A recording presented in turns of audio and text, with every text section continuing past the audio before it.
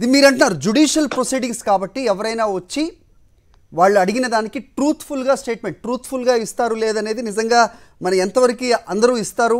So వాళ్ళు అనుకున్న truth ఏంటి నిజమైన నిజమేంటి అనేది తర్వాత విచారణలో తేలుతుంది.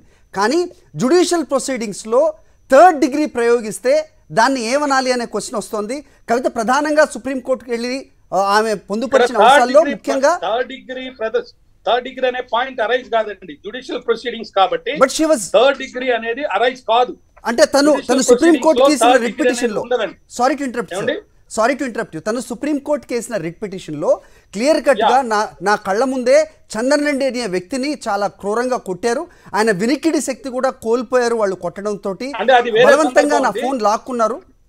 సో ఇలాంటి జుడిషియల్ ప్రొసీడింగ్స్లో ఇలాంటివి అలౌడా అనే క్వశ్చన్ కూడా వస్తుంది. నేను అదే చెప్తున్నాను మీకు. సార్ స్పెషల్ యాక్ట్ పిఎంఎల్ఏ కింద కొన్ని ప్రత్యేక అధికారాలు ఈడీకి ఇచ్చారు. ఆ ప్రత్యేక అధికారాలకు సంబంధించి సపోజ్ మీరు వన్ సిక్స్టీ కింద స్టేట్మెంట్ తీసుకుంటే సంతకం పెట్టాల్సిన అవసరం లేదు. కానీ ఈడీ యాక్ట్ కింద కనుక అంటే పిఎంఎల్ఏ యాక్ట్ కింద తీసుకుంటే సంతకం పెట్టాలి. ఇక్కడ సంతకం పెట్టండి అని అడిగినప్పుడు మీరు యూ కాంట్ సే నన్ను ప్రెజరైజ్ చేశారు థ్రెట్ చేశారు ప్రామిస్ చేశారు ఇండ్యూస్ చేశారు అని చెప్పి అనడానికి లేదు. ఈ స్పెషల్ పవర్స్ని వాడుతున్నప్పుడు అది మిస్ఇంటర్ప్రిట్ చేస్తున్నారు. చందన్ రెడ్డి కేసుకు సంబంధించి చందన్ చందన్ అనే చందన్ రెడ్డి అనే ఆయనకి సంబంధించినంత వరకు ఈవెన్ పిళ్ళైకి మరో మూడు రోజులు కస్టడీ పెంచేటప్పుడు అక్కడ ఆర్గ్యుమెంట్ జరిగింది. హైకోర్టు మన జడ్జి గారి దగ్గర సిబిఐ ప్రత్యేక న్యాయస్థానంలో.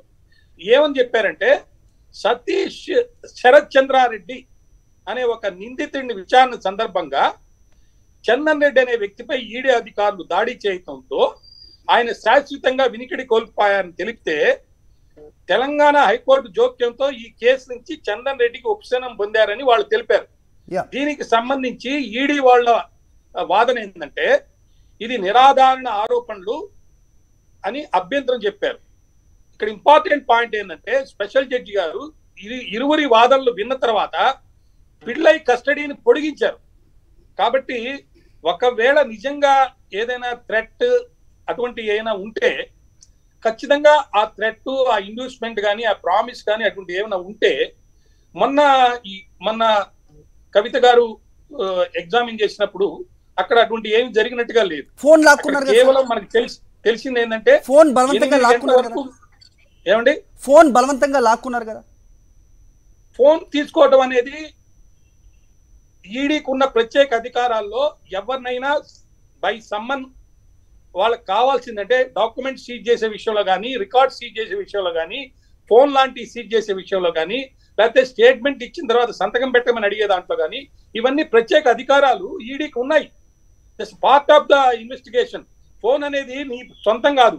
ఫోన్ ఒకసారి నువ్వు కేసులో ఇన్వాల్వ్ అయిన తర్వాత మీరే ఎవరైనా కానీ వాళ్ళ ఫోన్కి సంబంధించి ఒక డిస్ప్యూట్ అనేది లేకపోతే రిమాండ్ రిపోర్ట్స్లో ఇచ్చిన స్టేట్మెంట్స్ ప్రకారము ఫోన్లు ధ్వంసం చేశారని చెప్పి ఒక వాదన వస్తుంది కాబట్టి ఆ ఇన్వెస్టిగేషన్లో పార్ట్లో పార్ట్ ఆఫ్ ద ఇన్వెస్టిగేషన్గా మరి ఫోన్ తీసుకోవడం అనేది అది it can be said as threat or promise or coercion or inducement అలా రాదని నేను భావిస్తున్నాను.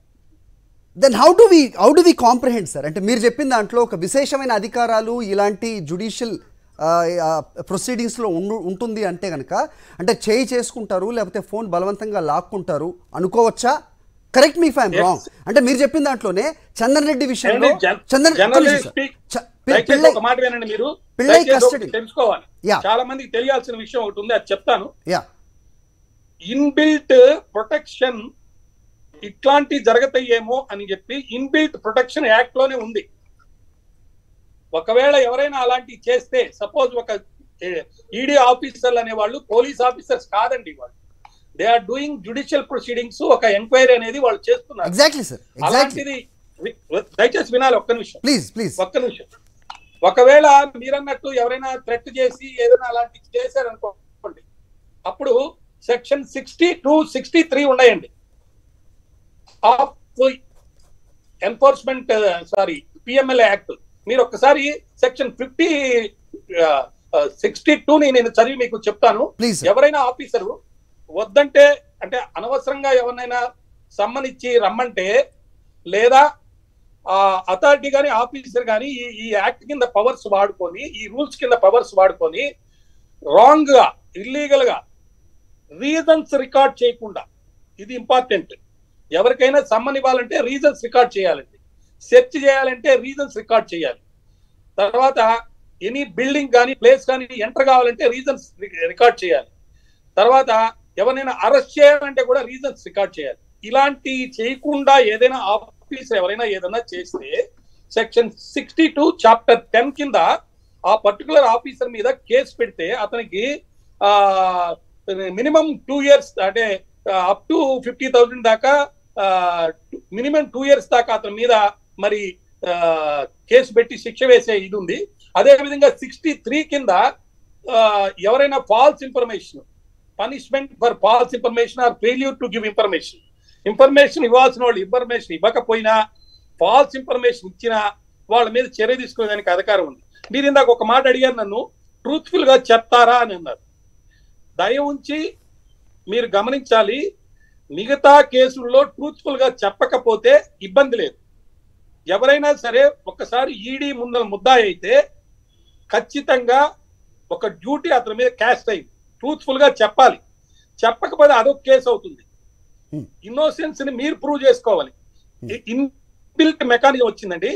ప్రైమ్ ఆఫ్ వేసి రీజన్స్ రికార్డ్ చేసి కోర్టు ముందు పెట్టి ఈ పర్టికులర్ వ్యక్తి ఈ నేరం చేశారని గనక ప్రూవ్ చేయగలిగితే బర్డన్ అనేది అంటే నేను ఇన్నోసెంట్ అని ప్రూవ్ చేసుకోవాల్సిన బర్డన్ ముద్దాయి మీదకి వస్తుంది. ఓకే కాబట్టి స్పెషల్ పవర్స్ అనేది ఈడీ యాక్ట్ కింద ఉంది ప్రేక్షకులందరూ లేదా మీ ద్వారా చూసే వాళ్ళందరికీ నా మనవి ఏంటంటే మిస్అండర్స్టాండింగ్ చేసుకోవద్దు. ఇక్కడ ప్రతి అడ్వకేట్ కూడా ఇంటర్ప్రిటేషన్ చేసేటప్పుడు ఒక పర్టికులర్ లాని వాళ్ళ క్లయింట్కి అనుకూలంగా ఉండేటట్టు చేసే ఒక పద్ధతికి మనం అలవా అలవాటు పడ్డాం.